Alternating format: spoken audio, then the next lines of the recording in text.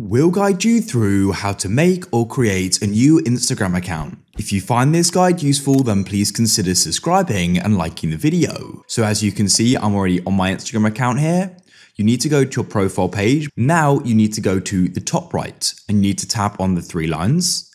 That will go and open up settings and activity. Go and scroll down and at the bottom you should see the option for add account in the login section. And at the bottom you'll see the option for create new account. You can go and tap there. You can go and choose a username. For example, I could go and name this guide realm second like so. You could have a completely different username if you want to. And what you can then do is go and choose what you want your password to be. Then you can press next. And as you can see, it says welcome to Instagram. We can go and complete the sign up by using our email from the account already on the device, or we can go and add a new phone number or email for it.